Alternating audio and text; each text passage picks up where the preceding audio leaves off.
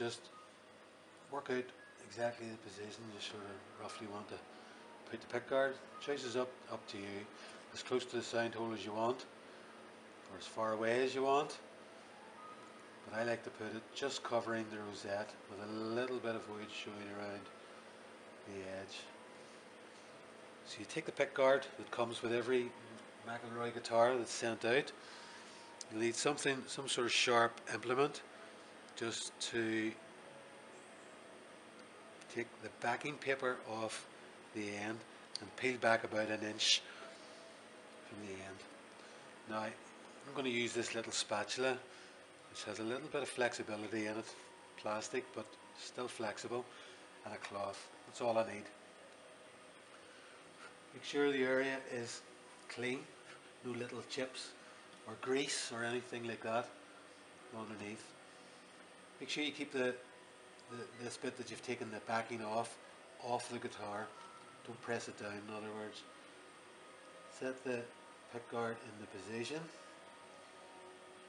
making sure that it's not sitting on top of the bridge or going to hit the fingerboard and once you're happy with the position as it is then just press down the sticky bit that's it fi fixed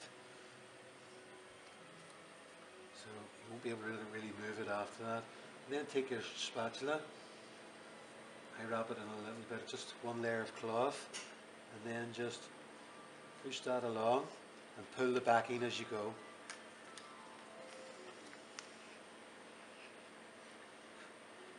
A little bit of a blow just to make sure there's no no dust underneath. Simple as that. That's it done. The only thing that's left is that there may be a few little bubbles underneath, but actually the, the pickguard material has uh, sort of a, we call it orange peel. The plastic isn't perfectly flat, so when you put it on the guitar it looks like there's lots of bubbles underneath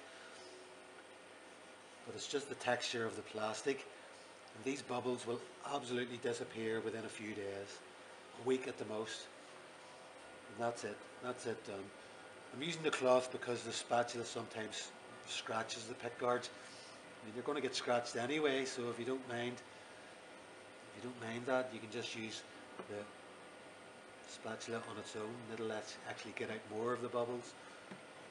But that's it done. Just up to the edges, make sure the edges are done. If you don't have a spatula, you can just use the cloth and pull the backing out as you move the cloth along like that and then just out to the edge. That's it done.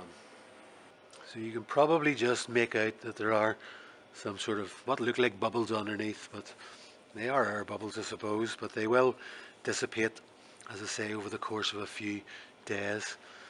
Uh, you can get out as many as, you, as you, you can, but don't worry if they're still there. They should, they should disappear. And that's it.